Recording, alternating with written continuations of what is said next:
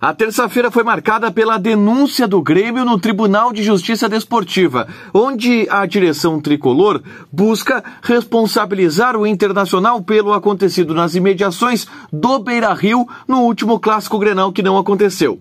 A súmula da partida foi divulgada pelo árbitro Leandro Voaden e na súmula haverá o embasamento para a denúncia que deverá vir da Procuradoria do Tribunal de Justiça Desportiva. O Internacional faz uma sondagem por Vitinho, libera Tyson do último treino por conta de um problema pessoal e abre o CT Parque Gigante para o retorno dos acompanhamentos das atividades através da imprensa. Esse é o Diário do Inter KTO, terça-feira, 1 de março de 2022. Tudo bem, gente? Obrigado pela participação aqui. Não esquece de deixar teu like, de inscrever, de ativar as notificações para falar do Internacional aqui no A Dupla e com muita coisa para tratar.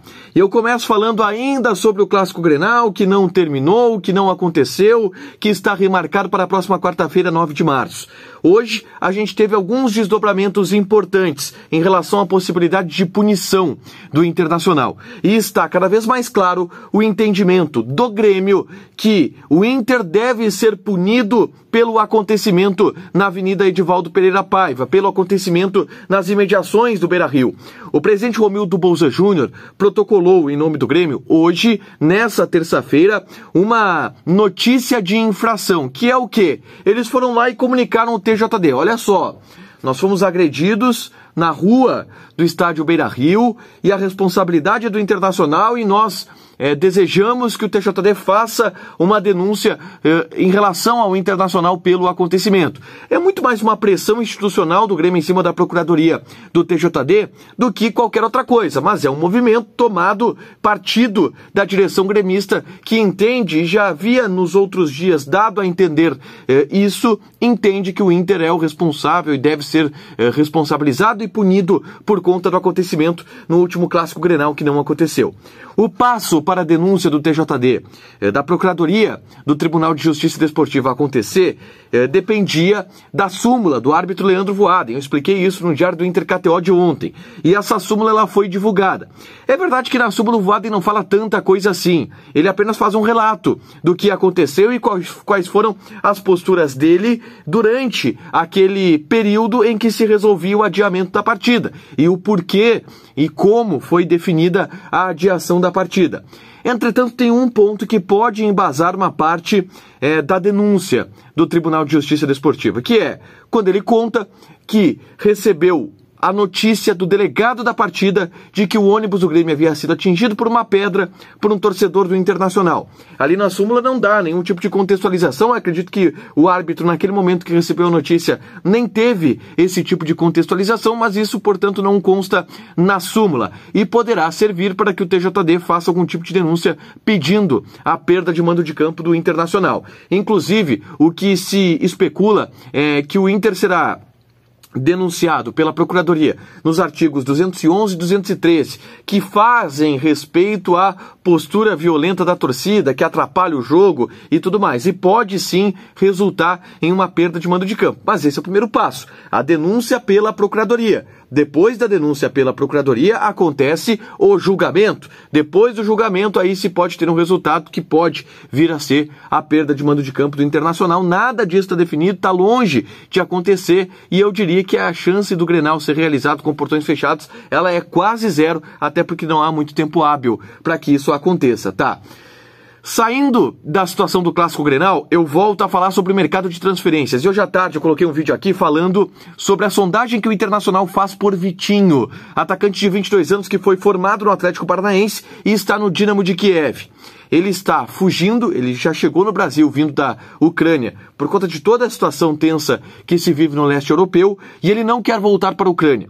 E ele não quer também jogar no Atlético Paranaense, que é onde ele vai treinar, inclusive, nos próximos dias, e é o clube que o formou. Ele aguarda propostas. E o Inter sondou a situação do jogador. Ele quer, ele gostaria de jogar no Internacional, mas o que o Inter ouviu foi, eh, disse para ele foi, resolve a tua situação. Se tu conseguir uma liberação de empréstimo, ou se tu conseguir uma rescisão contratual, a gente vai falar contigo. Sim, sem isso, o Inter fica, de certa forma, de mãos atadas. Mas não só o Vitinho, o Inter também monitora outros jogadores das posições que precisa que estão no Brasil por conta da guerra na Ucrânia. E é óbvio que é um mercado que se abre diante de toda essa tragédia que a gente está vivendo no leste europeu. Ponto nova linha parágrafo. Atividade dessa terça-feira no CT Parque Gigante não contou com a presença de Tyson. O capitão do Internacional foi liberado pela direção colorada para resolver problemas pessoais. A gente sabe do drama pessoal, familiar, que vive o Tyson, que perdeu um irmão há duas semanas atrás, que foi dúvida em determinado momento para o Clássico Grenal. Por conta disso, ele voltou a treinar, estava trabalhando normalmente, mas Evidentemente que de maneira compreensiva a direção deu essa liberação para o Tyson para que ele não treinasse no dia de hoje para resolver questões familiares. Ele está com esse problema eh, familiar que é muito difícil de ser resolvido. Imagina todo o apoio e suporte que o próprio Tyson não só precisa, mas como precisa dar também para os seus familiares. Então, absolutamente plausível. É aguardado no treinamento de amanhã o Tyson para que ele possa voltar e estar à disposição na partida contra a equipe eh, do, do Globo do Rio Grande do Norte, que é na quinta-feira, tá? E aí uma notícia muito boa. O Inter anunciou nessa terça-feira, e eu fecho o diário do Inter KTO com essa notícia, o Inter anunciou que a imprensa voltará aos treinos, já a partir dessa quarta-feira, quando tem uma atividade às 8h45 da manhã. Eu não estou escalado para essa atividade pela Bandeirantes, tá? Mas com a gente podendo retornar aos treinamentos, eu vou poder trabalhar de uma maneira muito melhor com vocês, trazer notícias mais fidedignas, trazer mais conteúdos uh, até de detalhes de como estão acontecendo os treinos, uh, de mais contato com os jogadores, é tudo aquilo que a gente precisa. Então, vai ser muito bom para você, principalmente, que vai ter um conteúdo mais de perto daquilo que acontece no dia a dia do Internacional. Tá. Para fechar, vamos falar de KTO. É, eu não me dei bem. O jogo tá rolando ainda lá, tá? Tá 3 a 2 pro Mirassol. E eu apostei no Donos e apostei na KTO 3 a 1 para o Grêmio contra o Mirassol. Não me dei bem. Era uma odd boa. Era uma odd 21 que estava pagando, mas não deu. Quer jogar lá na KTO? Te registra, coloca o cupom A dupla que tu ganha 20% de bônus em cima do teu primeiro depósito. Fechado? Deixa teu like, te inscreve, ativa as notificações que vai ter mais conteúdo aqui no canal. Beijo!